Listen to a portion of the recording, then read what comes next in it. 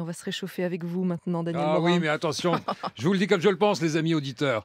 Ne sortez pas de chez vous ce matin. Vous avez entendu, Stéphanie Oui. Ça caille, 4 degrés, du vent, de la pluie, de la neige par endroits. Restez couchés. Rien de presse. Attendez le printemps. Bon, en attendant, ici, dans les locaux de Radio France, on est bien. Le chauffage fonctionne à merveille. Fonctionne peut-être un peu trop bien. Du coup, en fin de journée, il arrive qu'on ait les jambes un peu engourdies. Alors, j'ai fait part de ce léger inconfort à Mathilde Munoz qui m'a immédiatement interrompu et qui m'a dit Sensation de jambes lourdes?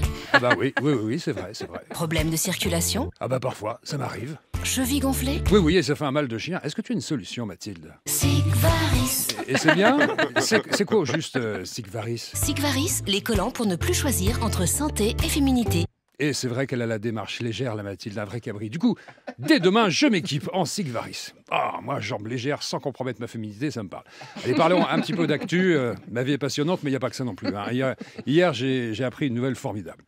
Il paraît que l'année prochaine, Abdelaziz Bouteflika va se présenter pour la présidentielle pour un cinquième mandat.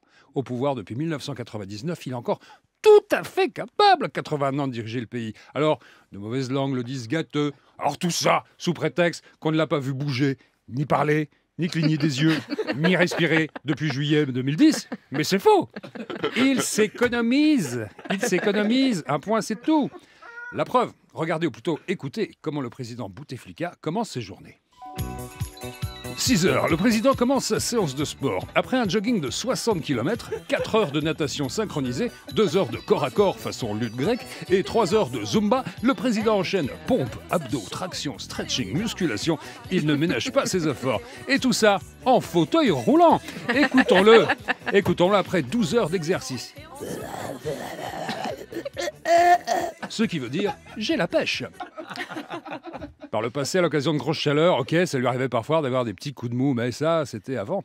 Avant qu'il ait Mathilde au téléphone et qu'il lui a dit Sensation de jambes lourdes Problème de circulation Cheville gonflée Sigvaris, le numéro 1 de la compression médicale en France. Alors du coup, équipé de ses collants, le président Bouteflika retrouve tenue et énergie, en plus de son légendaire sens de l'humour, bien entendu. Alors lui, le sens de l'humour, ah, on peut pas dire qu'il l'est euh, souvent, malheureusement. C'est son côté sérieux, son côté parfois psychorigide. D'ailleurs, Vous entendez un peu le ton qu'il a. Tenez, un exemple. À chaque fois que Mathilde lui fait la promo de ses collants qui euh, ne gâchent pas la féminité, eh ben, il faut toujours qu'il amène son côté journalistique un peu coincé. Il faut que ça ressorte et qu'il gâche l'ambiance. Vous avez compris de qui je veux parler. Il s'agit de Nicolas. Dispositif médical CE. Pour plus d'informations, consultez la notice et demandez conseil à votre professionnel de santé. De Morand, voilà, c'est lui. Et pourtant, Ouais. je- c'est vrai. Oh, vous devriez vous mettre un peu au sport avant de recevoir François Molins pour parler, pour parler pontage coronarien et danse de salon. On fait des pubs gratuites maintenant, Daniel. Complètement. Super. Je suis payé en collant.